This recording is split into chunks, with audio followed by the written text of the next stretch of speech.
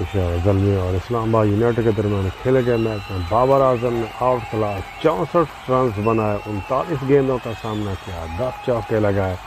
आप देख सकते हैं कि बाबर आज़म तमाम शाट्स अपने दिखा रहे हैं, जो कवर में खेलते हैं, जो मास्टर हैं इस शाट के। ये आप देख सकते हैं किस तरह उन्होंने बिल्कुल गेंद ऑफ़ स्टम्प पे आती हुई को किस तरह मोड़ दिया कवर की जाने बाबर आज़म में वो क्लास है, क्योंकि वो